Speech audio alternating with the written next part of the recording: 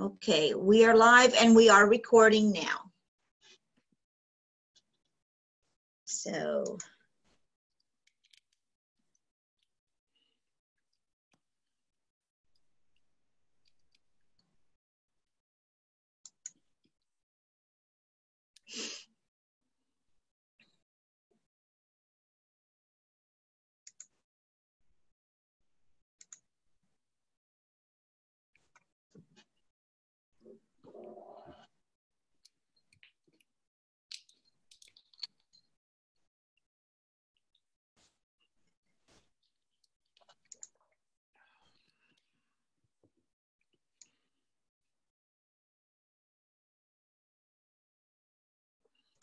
Hello, Alicia.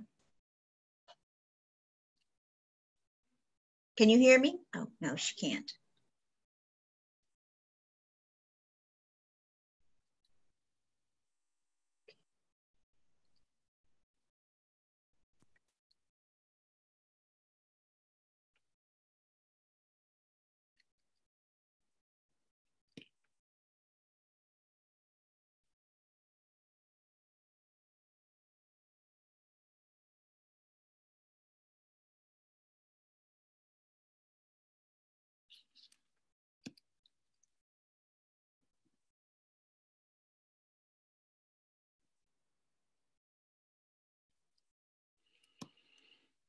Hmm. It's supposed to get cold tonight.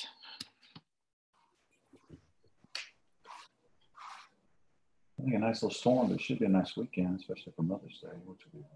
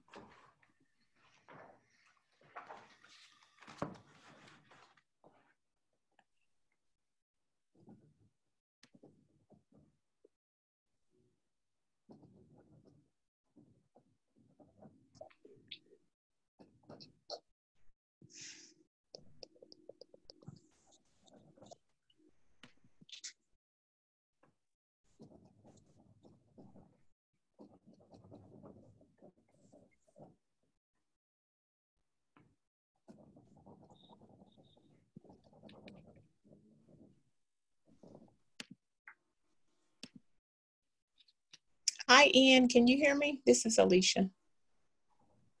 I can. Can you hear me? Yes, my computer audio is not working, uh, even though I'm online on my computer. So I'm using my phone for just a minute, but I'm gonna, I think I'm gonna have to do something different here. Okay. I, I'm gonna use my computer, but I won't be able to talk to you because right now I'm using my phone and my computer to make this happen. Oh, okay. I don't know. So you you may not want to ask me any questions because once Okay. I just FYI, I don't know why my audio is not working on my computer. I got it. I'm I'm gonna reboot it before we get started. Are we starting at twelve? Yeah, right at, yeah, we'll start at 12. And Okay. I'm, I'm going to go pretty much straight away to, you know, a quick welcome. And then I've got some backgrounds that Ty sent and then we'll turn it over to them. Okay. So you can go ahead. Don't pay attention to me. I'm gonna be over here troubleshooting. Okay. Okay.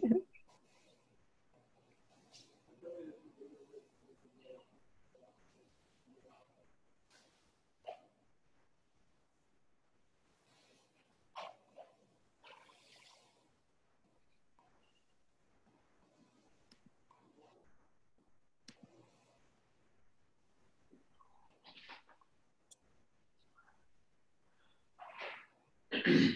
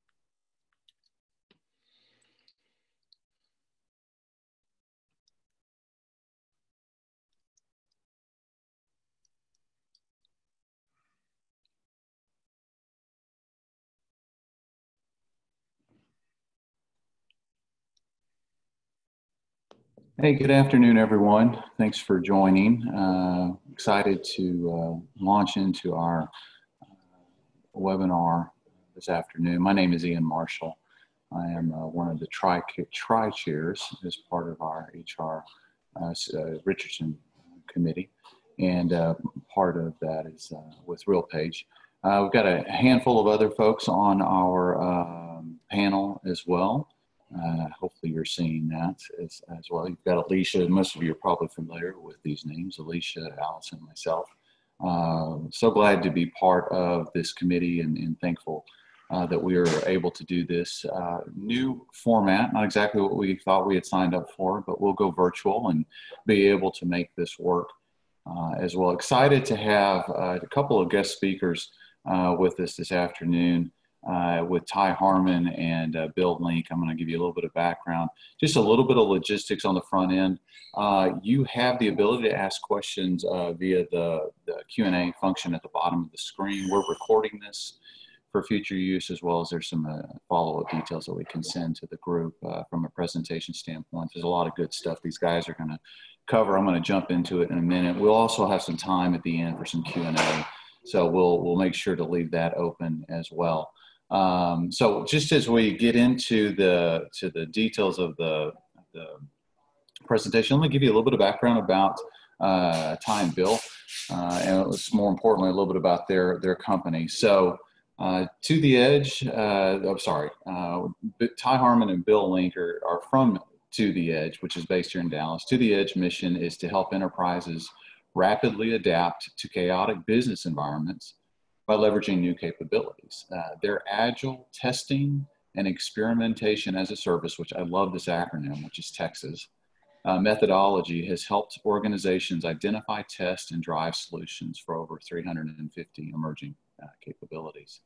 What we're going to hear today from To the Edge is what they do to help Fortune 200 clients develop approaches to responding to COVID 19 with innovative approaches and more importantly, their work to help understand, monitor, and implement HR approaches, which can allow employees the ability to adapt to a fluid and unsettling set of circumstances that we're currently dealing with.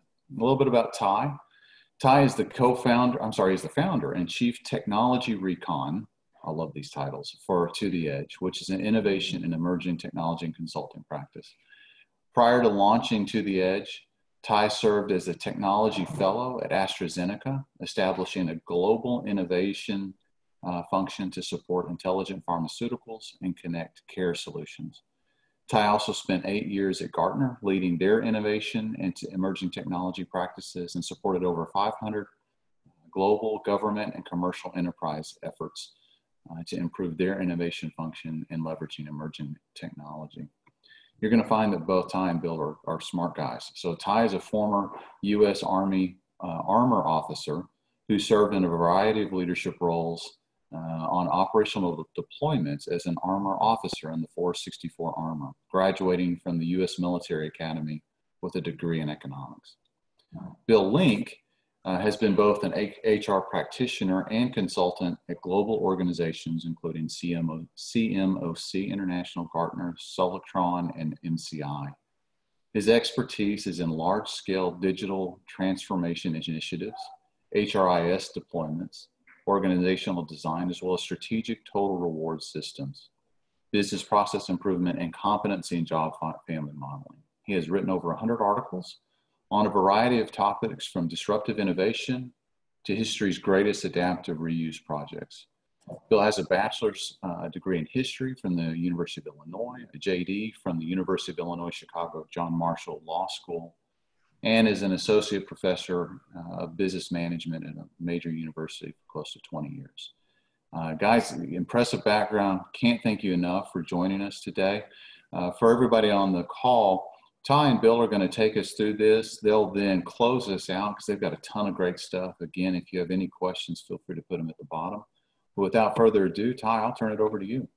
Thank you, Ian. And also Alicia and Allison, thank you for the opportunity as well as Tech Titans. Uh, one thing that Ian, uh, I did not tell Ian to mention is I am the last standing tri-chair for the innovation group within Tech Titans. So as a recruitment video, if anyone would like to participate in the Tech Titans innovation group, uh, we would love to help you and I would certainly welcome uh, that support as well. So it's great to kind of have this particular focus of presentation uh, again, we did this very similar for the innovation group a little over uh, almost a month ago, and now we're kind of putting a very specific HR kind of wrapper around this. And as Ian indicated, what we're going to get into today is what we're doing with our clients to actually to mitigate these risks from COVID-19 and more appropriately, how do you prepare your workplace for what's coming next? And how is this going to impl- impact the way you conduct business, the way you deliver products, services, or the, in fact, the entire business model that you may, in fact, be delivering today. Um, as we go through this, we're going to be providing a set of obviously recommendations. This is a very fluid element. We're, we're adding new content almost daily, as we all know, as this situation changes. Uh, but as we get into this, we, we ask for questions. Bill and I will be tag teaming monitoring the Q&A.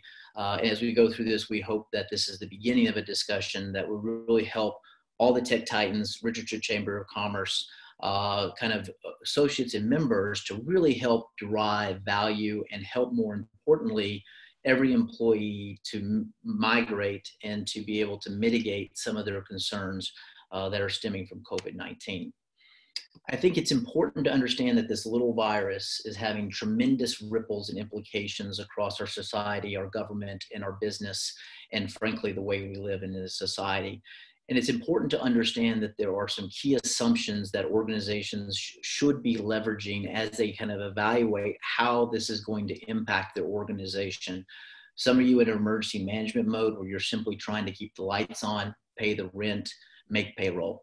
Um, others are stable and they're starting to emerge from emergency response procedures and beginning to think about the longer term, more maybe intermediate implications to COVID 19. And quite candidly, there are some people perhaps on this call and in this market that they're, they're growing. This is, this is a growth area because of COVID 19 and therefore they're in a different kind of place that you have today. So some of the key assumptions that we're uh, providing for our clients, and this is obviously collaborative with very large organizations uh, as we do this collectively with them, is that we've been watching infectious diseases emerge on a really a schedule of every four years or so. Some have small implications, MERS, uh, larger implications, uh, but we're seeing something emerge every four years for roughly about the last decade. COVID-19, we, you know, it's a very fluid situation. There could be waves of COVID-19 with the mutation of the virus. We modeled this somewhat after Spanish flu, uh, which really had three waves between the spring of 1918 and the winter of 1919, and obviously uh, catastrophic uh, Im Im impacts uh, and mortality associated with the Spanish flu. Um, I think all of us recognize that extreme social distancing, we, we characterize that very specifically because we recognize that social distancing is a critical mitigating factor to COVID-19, uh, but extreme social distancing uh, will equal economic disaster. Uh, we've seen that, we have some data that supports that, and I think we all finally recognize that health and wellness are becoming national security issues, uh, and that includes everything from where we get our our, our drugs and our pharmaceuticals, uh, all the way to is where do we manufacture um, certain PPE equipment and other things as well. Now, the immediate impacts that we're already seeing within this marketplace currently, um, we can see these on the screen. Remote work, telehealth, just to kind of, again, I think this is a statistic that highlights how telehealth has changed. Um, Novant Hospital, who's publicly disclosed this, as well as Houston Methodist, has also disclosed this, is that over a 12 month period prior to COVID 19, they did 1,000 telehealth visits total for a 12 month period. Uh, vast majority of those were in the mental health domain. That was where those telehealth visits were conducted. In a two week period, Novant Health did 30,000 telehealth visits. And just to give you a sense of in the healthcare market, the only thing that is keeping many hospitals afloat at this point is telehealth because elective surgeries and other types of traditional visits uh, that insurance obviously pays for. Um, those things have been suspended in many parts of the country, and just now we're starting to get some of these elective procedures back. Um, I have two kids that are in elementary school, you know, second grade and fifth grade. Uh, many people may have teachers and other kids. We've all experienced what remote learning means. Uh, I joke that the open office concept at my house is failing miserably with all the devices that my kids are on and all the conference calls and video chats they're on. The open office is not working. So we're moving to closed offices in my house specifically for that. And then of course, electronic commerce. We know that grocery stores specifically were less than around 10% depending upon the data you read. That's fundamentally changed. Now, what are the possible, possible emerging ripples that are coming out? We're talking about track and trace or contact and trace and mass biosurveillance. Uh, the best way to really think about that is the Trusted Traveler Program and TSA that was implemented after September 11th as a proxy or an exemplar for what we may be experiencing in the future. But there's a lot of work in this kind of mass biosurveillance. We're going to talk a little bit about that and some of the technologies that are being implemented for health and wellness. Uh, we talked about supply chain resiliency. Uh, this is basically understanding where we make stuff, where we get stuff, and if those people like us or not. Uh, or they have their own agendas and geopolitical goals that may conflict with the goals here in the United States or uh, other places in the, in the world that uh, each of you may be doing operations. So supply chain resiliency is becoming quite critical. we see that especially in the way we process food in this country. We saw that Tyson's is just now opening up uh, one of their major processing facilities for pork up in Iowa, and that was after over 40% of the actual workforce had COVID 19. So uh, some of our food and supply chain has been going the resiliency. Uh, the healthcare revolution, we're seeing that. We'll talk about this. And the difference between a pork processing facility and a toilet paper facility is the degree of automation that was provided within those two areas. And so toilet paper obviously had social distancing in the manufacturing process, specifically because they had implemented robotic systems and other types of automated manufacturing systems where how you process uh, pork products, chicken products, beef products, that's a highly labor intensive purpose, close proximity to each other in terms of that operations. And lastly, I think we all have seen the, the cartoon which says, what is driven your digital transformation? Is it your CIO? Is it your CEO? Is it your CDO? And no, the answer is it's COVID-19. So this is what's requiring most organizations to obviously, you know, deal with the emergency in front of them, kind of stabilize, and then reemerge from that process. And so part of today's discussion is how are you adapting first to survive and then ultimately how will you adapt to thrive in this new reality that is emerging on a daily basis in front of us so these are some of the things that uh, or areas and, kind of key assumptions that we're looking at as we continue to move forward and trying to chart a path in conjunction with our clients uh, to how they're going to respond to what COVID-19 is changing in front of our eyes. Now, we know that there's been tremendous impact and catastrophic impact to certain industries associated with COVID 19. So, this is from the Bureau of Labor and Statistics that talks about survey data from April the 3rd of this year. This is obviously, we have weekly unemployment reports. I believe the last number was somewhere in the order of 3.1 or 3.2 million unemployment claims uh, for this week. And so, you see that uh, tremendous implications. But I do want to call out here as we look at this, just think about the implications to the healthcare industry. We think healthcare is a safe and stable industry, but we're talking on order of magnitude of hundreds of thousands of family practices across the United States uh, basically becoming insolvent because of the fact that they cannot perform any procedures. Pediatricians, ENTs, dentists, optometrists, all those types of practices, uh, nurses, nurse practitioners, other types of skilled healthcare labor are getting laid off at an increasing rate as well because they can't perform those procedures as well. So even the healthcare system is not necessarily pr protected uh, from COVID-19 because of that. I think the other thing is understanding the implications to different populations within the United States. Uh, and this again is coming from uh, Pew Research from the Bureau of Labor and Statistics again. And again, we'll make all this available for people as well because we believe that each organization needs to evaluate and understand the source data to understand the implications to your specific business as well. And so you can see the age, uh, the gender, as well as the ethnicity of individuals and the implications it's having as well. We know that many of the jobs uh, that several of us have in terms of being able to work remotely and being able to support that haven't been impacted to the degree of other positions uh, like uh, waitresses and wait staff uh, in restaurant type of businesses as well. And so there are tremendous implications that we have in front of us. And so the question is, how do we move forward? And that's really what today's presentation is about. So the last one that I have is uh, part of our scenario planning process is looking at more than just technology trends, but societal trends, in this case, infectious diseases or catastrophic events if you're in the insurance industry, and thinking through how all these things interact with each other. And what we will want to make sure before we jump off into the HR portion that Bill will be covering today is just a level set that there are an inflection curve which we don't know clearly yet which direction we may go. And in some cases, as we continue to learn data and there's global studies uh, that are going through the scientific community, even those studies are being you know, vetted, they're being argued, they're being debated and deliberated. But what we are understanding is there may have a relatively quick recovery. That means that the mortality rate of COVID 19 is probably less than what we initially thought. Doesn't mean that it's not highly infectious, it's just reference the mortality rate.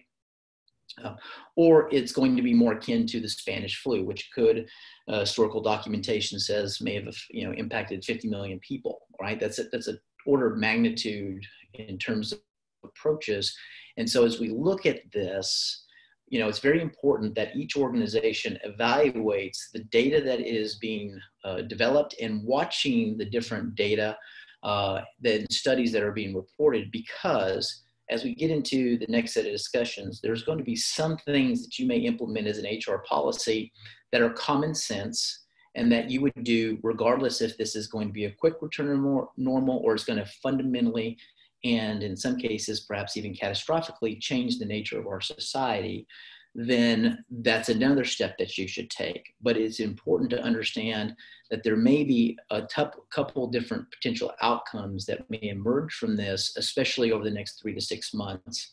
And so we want to point that out that the data that everyone is looking at, which is effectively uh, the numerator and the denominator of the number of people infected and the mortality rate, and obviously the characteristics of that mortality rate, are going to guide uh, policy uh, makers, they're going to guide uh, policy experts in the healthcare space and government officials to guide, but it's also going to guide how we as individual organizations manage our employees, our customers, our suppliers, uh, and also the relationships that we establish.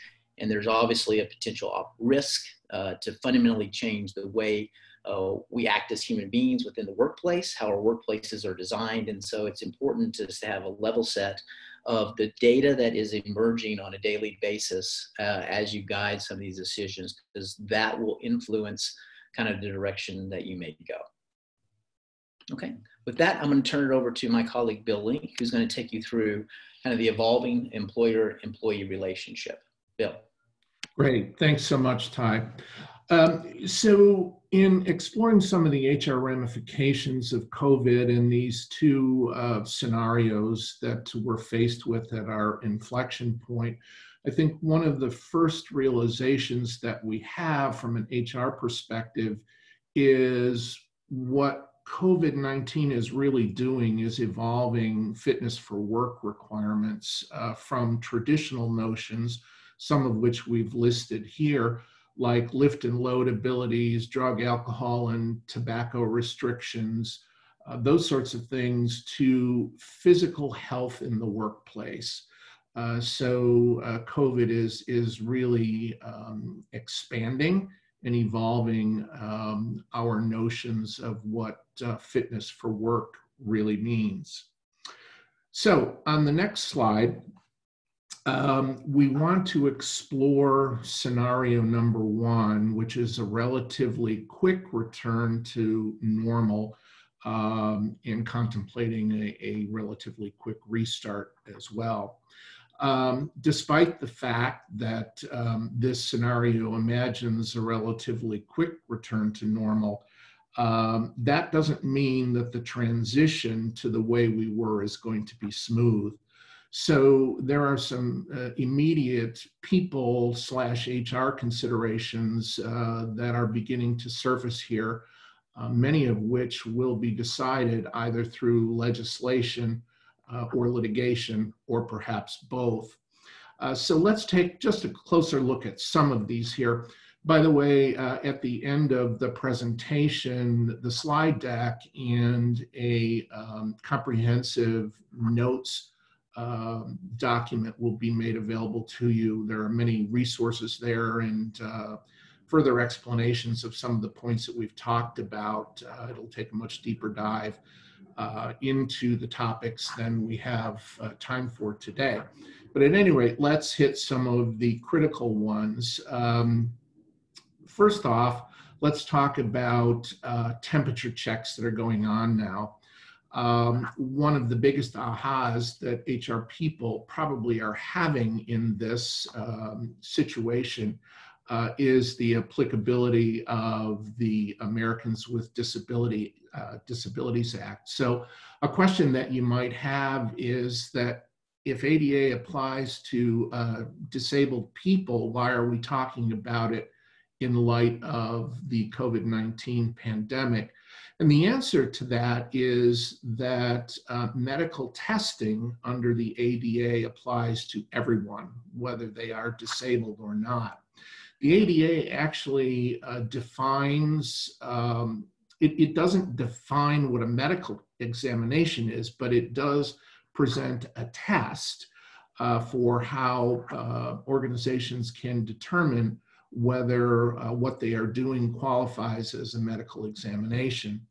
Um, and if you look at those tests, and again, we'll include those in the notes uh, that will accompany the presentation deck, there are things like um, does the test or procedure um, encompass a, uh, physical and mental abilities or impairments? Um, does the test or procedure occur in a medical setting? Uh, does a healthcare professional interpret the results? And there are several others. So, at first glance, um, you might conclude that temperature checks um, are not uh, medical examinations uh, under this definition uh, and probably should not be occurring. Um, contrary to that position, the EEOC has ruled for purposes of pandemics that temperature checks do qualify as a medical examination. However, it's really not clear that the courts will take this position going forward because there are at least four uh, tests for medical examination that uh, these current uh, temperature checks uh, cannot meet. Um, so other things related to these medical exams that are going on, i.e., mostly temperature checks uh, of employees, um, include some privacy considerations. Um, so imagine a person standing in line waiting to be tested, uh, and the test result is that the person has a fever. Uh, a likely scenario is that that person will be sent home and people in line um, would witness that and presume that that person uh, is either infected with COVID or at least has a fever. So, um, you know, this wouldn't be a violation of HIPAA per se, but the person could have a claim under ADA for public disclosure of a private fact. Uh, litigation in some states around this is already beginning, by the way. Um, there are also some considerations about union employees. Um, so there are cases uh, where the National Labor Relations Board uh, has ruled that safety rules are not the same as work rules, so that a management rights clause and a collective bargaining agreement may not be adequate to allow employee testing uh, so check with your uh, legal counsel if you employ uh, union employees and you are testing them um, because uh, union permission may be needed. Um, and then we have the situation where some employees will refuse to be tested on privacy grounds. Um, so, and this could apply to union employees or not. Uh, under the NLRA, these people may be regarded uh, as engaging in a protected activity. Uh, so while the employer doesn't need uh, to pay these folks who are objecting to testing, um, they can't be disciplined uh, or terminated either. All right, um, as we move along uh, to the next slide, um, we have some additional things here uh, to consider. And along with the uh, temperature checks that are going on, um, we have the question of payment for non-exempt employees who are waiting in line for a temperature check, right? So on the one hand, uh, they are required to do this as part of their work responsibilities, but on the other hand, they're not actually working. Uh, I suspect that the ruling will be that uh, non-exempt employees will be paid for their time as they're waiting in line for these uh, temperature checks.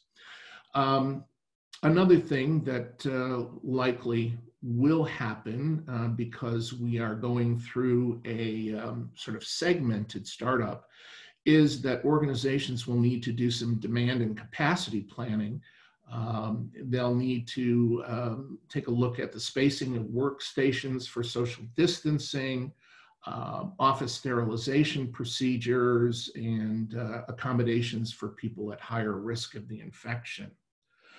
Um, and a new piece of legislation that has arisen in this scenario is the Families First Co-Virus Response Act.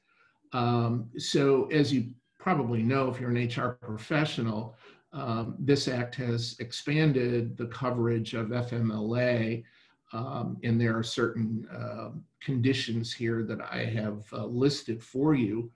Um, I believe Ohio had the first uh, case of an employee who refused to return to work. So none of these conditions under Families First applied to this particular woman.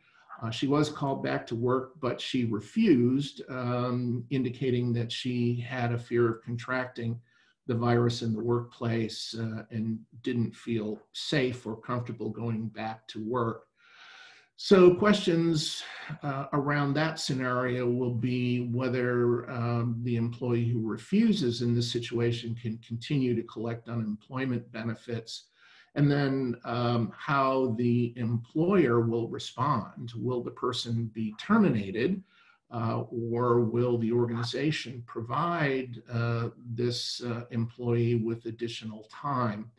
Um, things that employers have to consider uh, are the blowback from making a decision to terminate uh, the employee, and that can come on many levels. Um, employees in the organization who hear about this, um, you know, media coverage of it, uh, the company's reputation, uh, and so forth. So, uh, things to think about there. All right, as we move along, uh, other things to consider are policies for office visitors. Uh, what are we going to need from them? What information uh, would be required? Are we going to temperature check them as well? Um, and then in the scenario where uh, an employee returns to work and later becomes infected, uh, what disclosure notifications uh, will need to be made to others in the workforce? Um, and then if the organization has made some assertions that the workforce is uh, virus free or has been sterilized, uh, cleaned appropriately, uh, and nonetheless someone uh, contracts the virus in the workplace, uh, what happens then? What is the liability for that? Um, and I'm sure um, as HR people, as you are contemplating a restart and return of people to the office or the return of more people to the office, you have to think about policies for the use of elevators and common areas like break rooms, kitchens, uh, all of that, and uh, the delivery of food into the office as well. And finally, mail distribution. How is that going to be handled? Is someone going to distribute the mail throughout the office or will people go to uh, a central mail room to pick it up, right? Um, and then there's the matter of social customs, right? Um, interestingly, uh, one of Britain's largest crematoriums has banned hugging and kissing at funerals. Uh, so we can contemplate a situation where um, this sort of social behavior outside of immediate family uh, might be criminalized um, and, um, you know, consequently, uh, that behavior in, in office scenarios uh, may uh, follow suit as well. Um, and then for our organizational development professionals out there, um, organizations need to think about employee state of mind uh, as they're going through this, whether they're in a telework environment or returning to work. Um, do they feel safe? Uh, what is going through their minds as, as we work our way through this? Uh, I think many organizations have already thought about that, and I know of a couple uh, that have already administered climate surveys and intend to um, continue doing that um, as, uh, as we progress through this. Okay, um, as we move along, we're going to consider the second scenario, and this imagines a longer recovery period um, and uh, a result um, that um, suggests a new normal, a permanent new normal. So, in talking to lawyers and business leaders and a number of other people, um, we have compiled a list here of some fundamental changes that are fairly likely to occur uh, in this uh, longer term recovery scenario. Um, so it's not difficult to imagine that uh, people will lose some privacy rights. Um, you know, one of the primary ways that they could do that is through widespread use of uh, track and trace technology. Um, states are already beginning to consider this. In fact, Connecticut just announced a voluntary track and trace program that will monitor uh, movement of COVID, uh, COVID-19 positive people using um, digital tracking technology. Uh, so um, the next question is, will this um, use of, of, tracking technology become permanent uh, in our new normal world? Uh, drone policing of public uh, venues. Um, so drones are in use in, in Russia now as uh, that country experiences a significant uptick in infections. Um, so they are policing for social distancing violations and uh, they are adamant and serious about fining people and even imprisoning people uh, for violations of, of those social distancing rules. Um, we can also imagine that disaster scenario planning will become a part of the organization's workforce plan, and that surely will impact all of us who are in the human resources field. Um, one of the uh, forerunners of this has been Barrick Gold. Uh, they've had a disaster workforce plan for this virus in particular since early March, um, and they are planning to uh, develop a plan uh, on an ongoing basis for various forms of uh, disasters that uh, may impact uh, employees in the workplace. Um, Verizon is another good example of, of um, an early adopter. So uh, their plan called for a pivot of 110,000 of its 150,000 employees um, in 10 days to telework. So, a remarkable and successful effort um, that they had uh, in implementing uh, telework. And then finally, uh, the New Zealand government um, is another exemplar here. Pardon me, they've had a disaster telework plan in place since 2010. And if you recall, uh, New Zealand experienced a series of serious earthquakes uh, from 2010 to 2012. Uh, and this plan uh, enables government employees, all of them, uh, to uh, pivot to home-based telework during disasters.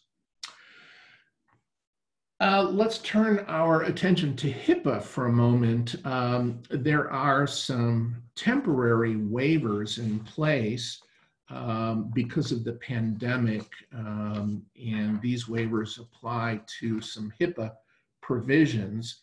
Um, and these include things like um, the patient's um, uh, right to talk, to speak, uh, I should, sorry, they include the requirement to obtain the patient's permission to uh, speak with family members and, and friends involved in the patient's care. That has been waived in light of the uh, pandemic. Um, also waived uh, is the patient's um, desire to opt out of the healthcare facility directory. And there are several others here. Um, so in light of a new normal scenario, we can imagine that some of those waivers that are in place right now will become permanent in the new normal. Um, we can also anticipate amendments to the ADA that allow for more comprehensive and intrusive fitness testing.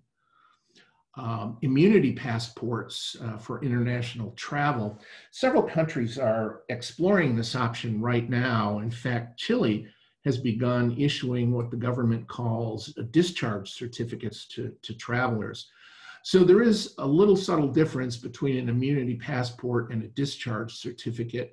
Um, an immunity passport is something akin to a guarantee that a person um, is healthy uh, and will not uh, be able to infect people. Uh, a discharge certificate simply says the person had had the virus or the disease but has fully recovered. Um, there is not a, a guarantee there that um, you know the person could not infect others or become infected again. Uh, so in that in in that situation, Chile has recognized that uh, a negative test, um, uh, you know, doesn't necessarily guarantee future immunity, uh, and um, you know, uh, an asymptomatic person is not necessarily one who is virus free.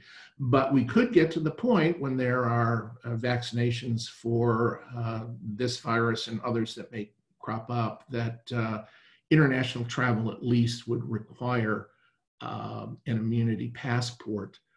And then clearly uh, business travel and, and uh, things like that will uh, lessen in favor of virtual meetings and trainings. As we move on, um, other things to consider are uh, training for employees, managers, and executives to be able to adapt to telework. Um, at the end of the deck, we've included some res uh, resources that you can check out for uh, telework training. Uh, many people are in that uh, telework mode now for the very first time, and it does take some adapting um, to that environment. Um, there will be um, changing notions of employee productivity and performance man management and measurement if some of these positions become uh, permanently telework, um, depending upon the flavor of the worker. Uh, some people who are teleworking can be managed by uh, quality of work and hitting deadlines. Others uh, may have different measures like number of phone calls uh, answered, response times to uh, various uh, customer situations and things like that. Um, companies will need to uh, evolve different strategies for motivating employees, especially those who are in telework situations. Um, and retention strategies may need to evolve as well. Um, one thing that uh, COVID is uh, teaching us is that people who are in telework arrangements uh, and new to them um, have some psychological stressors. Uh, so, for example, some recent studies have shown that video calls are more draining than live meetings uh, on people, and introverts uh, who are on these calls are more susceptible to anxiety. Um, home workspace uh, safety and compliance uh, will be another area that uh, HR will need to focus on. Um, the state of California has had um, uh, inspections for home workspaces and mandated that for several uh, years now. So um, they may be in a in a better position, a little ahead of the curve, but one can imagine that uh, workplace uh, safety at home and compliance inspections will occur. Um, as well, the supply of office space um, will be greater uh, than uh, the demand. Uh, if there are uh, permanent teleworking positions, that will affect the real estate market, uh, and there will be new designs for the number of workspaces that will need to be reduced as a consequence of more telework. Um, organizations probably will be required to stock PPE in the workplace for just in case scenarios. Uh, and then from a taxation perspective, we can expect an increase in employers' unemployment tax contributions because of the risk of future pandemics. And then surely um, an increase in workers' compensation insurance and general liability premiums. Okay, um, as we move forward, uh, I'll turn this back over to Ty, who is going to cover some emerging technology solutions uh, and uh, bring us to a close of uh, the webinar today. Ty? Again, if you have Q&A, please submit it through that. We'll try to get to as many as we can. Uh, but this plays on the notion of identification and password is core to what we have today within an organization. How does temperature and by extension wellness play ability to access systems, access spaces to be able to do things? Uh, we have clients that are in the government space that have secure compartmentalized information facilities or SCIFs. These are classified and above networks that still require people to go into the office. And so our earliest work in about two months ago was around looking at camera systems that would eliminate the close proximity to do a temporal scan or actual physical contact from somebody in a security or access control position to allow for kind of a remote standoff, if you will, kind of scan. And so thermal scans uh, there's a lot of thermal companies out there. Many of these companies uh, are moving into the COVID 19 space, either from a healthcare perspective or a camera perspective or a solution perspective. And many of these have what you can see in the uh, bottom left hand corner. You'll see a grayed out image. Uh, that has a person's face with a little small uh, square, red square, but on the left hand side, what you'll see is a marker, uh, basically a validation tool that says that the temperature is within this range. And so we're seeing these, as, as Bill indicated, there was work within the United States, drones and thermal cameras that was kind of stopped due to privacy concerns. Internationally, we see this as well. Uh, we know security camera companies that are implementing this today, uh, but let's be very clear. It's a useful tool for detecting elevated body temperature. There could be many reasons for that. Uh, additionally, people could take uh, kind of suppression uh, medications to be able to lower their temperature. And we know that for COVID 19, you can be asymptomatic for up to 14 days uh, and, and a carrier of this disease, and these solutions would not help at all. So, this is really finding kind of an immediate stopgap procedure for people that are clearly sick and have an elevated temperature in the workplace. Uh, to be able to identify them and to be able to track them as well. And so there's a, there's a lot of, as Bill said, there's a lot of variety and there's a lot of uh, questions about the accuracy of this. And so we're having to do, as Bill indicated, a lot of what if scenarios based upon some of the things Bill talked about and how do we use this. However, you know, as an example, we talked about Tyson's pork processing plant in Iowa, went through two weeks of deep cleaning. They're doing thermal scans, right? This is a stopgap measure. In some cases, maybe it's a placebo to help employees feel safe that somebody with a temperature is not there. I think we all recognize that somebody could still be infectious in the workplace and not have a temperature. So where are most organizations beginning to move for, for, in terms of the types of technologies that they're evaluating? Some of these are in research and development. Some are going through validation studies to make sure that what they're detecting from the sensor technology is in fact indicative of someone having an infection of some type, not necessarily COVID 19, but an infection of some type. So we have these kind of wellness survey applications, track and trace applications, or contact and trace applications that people are beginning to deploy uh, in a very large number of scale. And so the question here is, do I have to certify that I'm well before I leave my house? Does my car have like a DUI breathalyzer for the ignition control?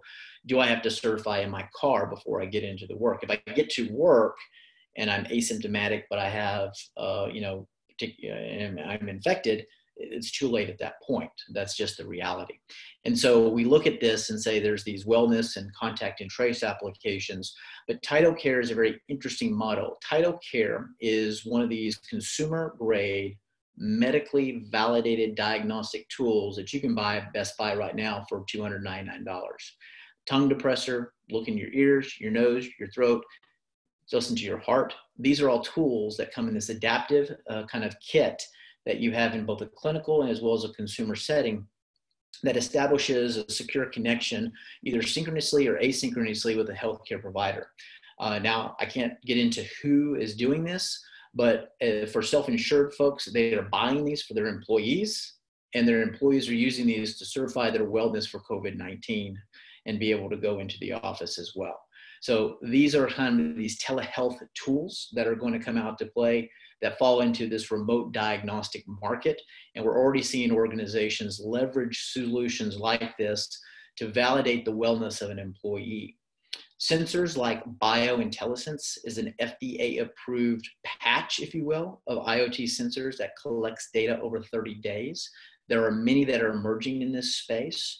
There's actually work out of UC Berkeley that has a sweat monitor that replaces many of the panels that you would take from a blood and urine sample by analyzing your sweat. Your sweat. So there's a lot of work that we're doing right now in this kind of distributed advanced sensor space that would allow for an organization or an individual more precisely to understand not their physiological health, but also um, their wellness in terms of an infection to be able to go into work.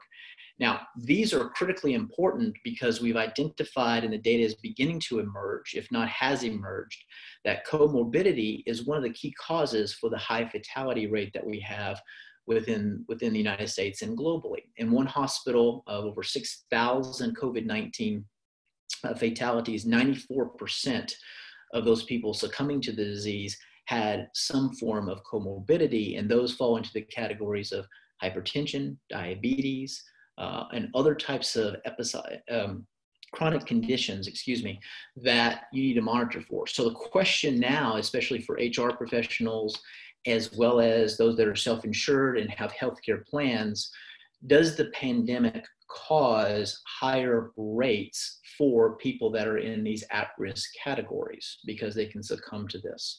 How does wellness factor into your overall rate structure as a company to and help people not only manage the mental burden that we've talked about, but also have a good sense of what they're doing in terms of protecting themselves the best they can from these types of things as well. Additionally, emerging research, the Israelis are looking at voice technology and investing in that to say, can I detect respiratory conditions from the way a person sounds with obviously a baseline score? And just this week, they're training dogs to detect COVID-19 that was announced. So lots of different approaches and techniques.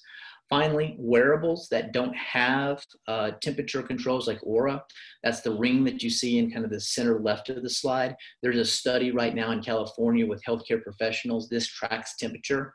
It'd be clear Fitbit and Apple do not, but with their rhythm strips that are embedded into those solutions, uh, they are doing uh, work right now to, to say, can we detect some sort of anomaly in the data from that rhythm strip that would be indicative of an infection. In fact, PlushCare, uh, who's kind of in this telehealth uh, concierge medicine space, just announced this morning a partnership for a large scale study with Fitbit uh, to be able to leverage this as well. So the question of your fitness program and your wellness program that is evolving and extending in many organizations to be able to leverage tools such as these to be able to look at how people can leverage these these reports this data in order to effectively manage their population as well. So we've covered a lot, and we're going to leave at least 10 minutes for questions and answers uh, that we that we may have from the group. But what are some of the considerations that we would recommend to all organizations to look at? So just understand that employee-employer relationships will definitely change and more importantly evolve. We talked about the initial ripple that was caused by COVID-19, the secondary effects, which is the economic implications and the public health crisis that we had, and then now we're going to be looking into legal because everything that happens right now is already under legal challenge. And that's going to create another ripple that every organization has to deal with. The lawsuits are mounting.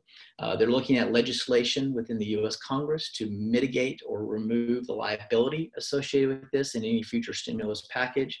So it's a very fluid state about that employee employee relationship uh, it's going to be clear that we all have a, a, vested personal and moral obligation to protect the health and wellness of our employees and to continue business operations as best we can and contribute to the community's stability by ensuring people are safe, that businesses stay open and operational, and more importantly, we, we protect life and liberty as long as the process. So you need to make sure that you are working with both your technology as well as your business partners around the value of employee health monitoring solutions, recognizing that there's going to be some limitations on privacy.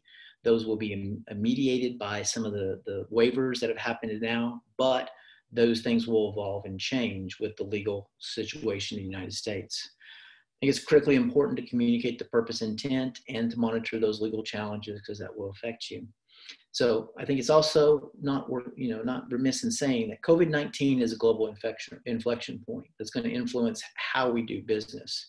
So it's critical to educate the leaders on the possible impacts. We've seen organizations go down a track of this is the worst case.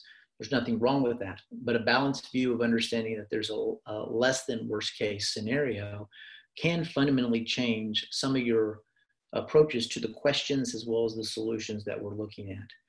Uh, looking at the regulatory framework, customer buying behavior change, this is going to impact your products and services.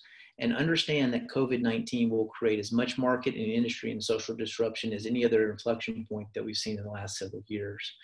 And finally, you know, we want to make sure that everybody, you know, we talked about people being in different places, in different spaces, but at some point, your organization is going to have to transition from emergency response to taking an active scenario planning model that takes in these triggers, these research trends, these regulatory, uh, the technology, the consumer buying behavior, a multitude of variables to understand how they interact for the, it's not just a single trend, it's usually multiple trends coming together that create both risk and opportunities for your organization.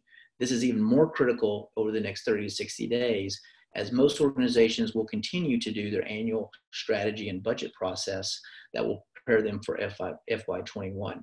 If you do that today, you then you can chart a very clear path to adapt and thrive in the world that's being created in front of us from COVID-19.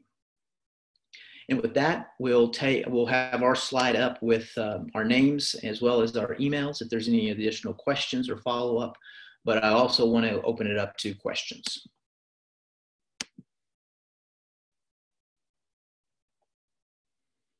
All right, we have one question through the chat, and you think there are more job opportunities for, special needs individuals to work from from home.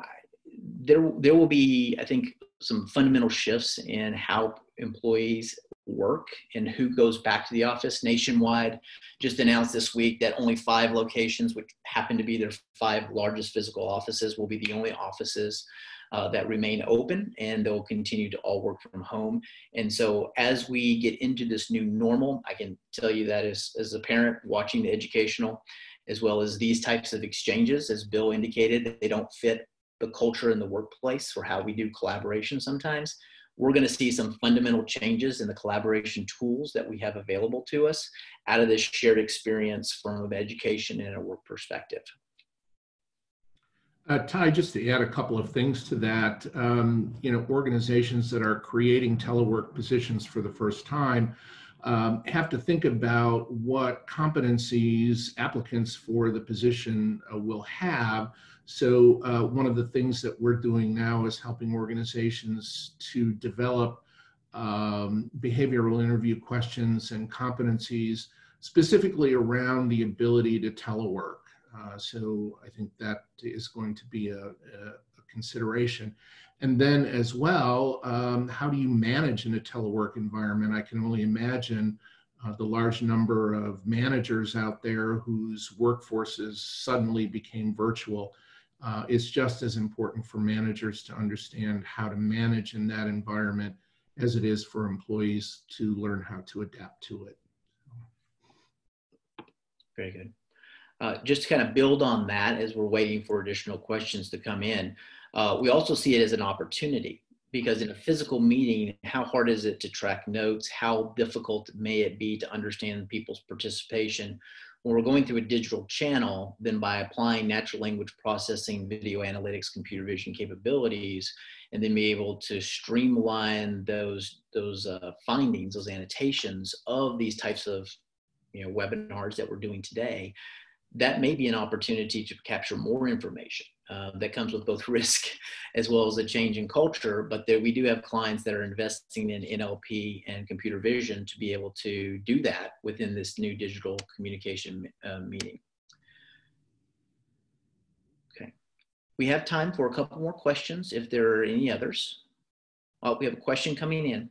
Do you anticipate an increase in labor complaints, lawsuits filed by employees if employers do not implement particular safeguard policies related to this issue? Bill, do you want to take that one?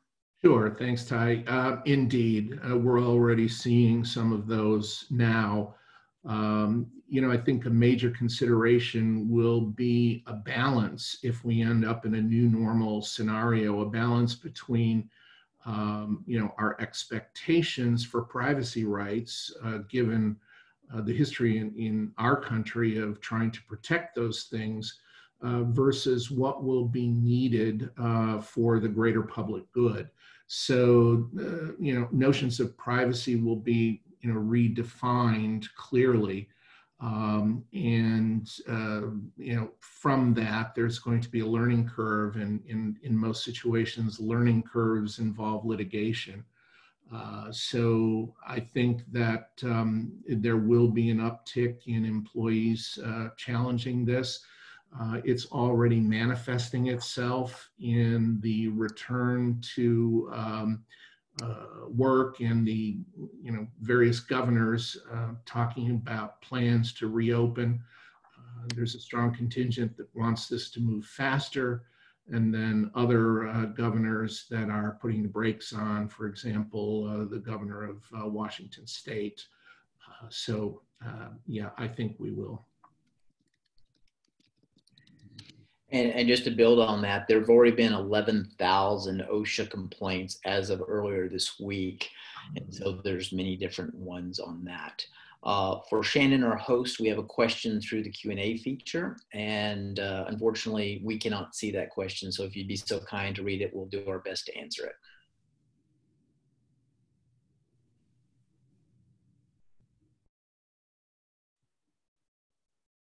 Okay, will we uh, see an increase in ADA, anxiety, migraines, and other uh, manifestations of this kind of crisis from a mental health perspective?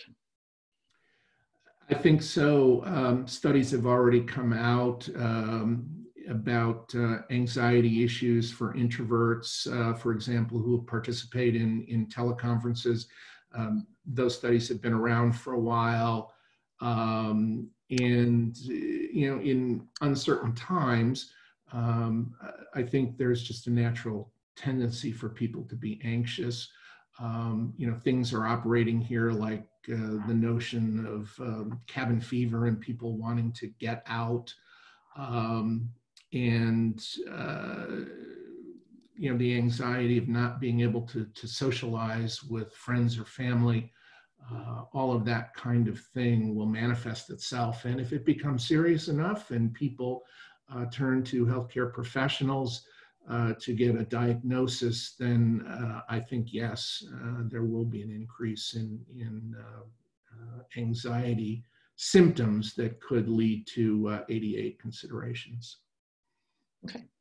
Well, we thank y'all. we're coming up on the top of the hour. And again, Uh, you see our contact information here at 2THEDGE, or go through your your HR uh, TriChairs. And uh, if there's interesting topics, uh, we're planning on doing something about disinfections of workplaces and solutions around that as well. There are upcoming events uh, around Tech Titans for Track and Trace from NTT Data, and then the future of telehealth as well on the schedule for May. So many more uh, opportunities to engage through Tech Titans. Um, and the Richardson Chamber of Commerce to understand some of these uh, kind of in, impacts and implications and we look forward to speaking with everyone soon in the near future. Be safe out there. Uh, continue to fight for your, your employees. And uh, if there's any questions, please let us know. Thank you so much. Thank you.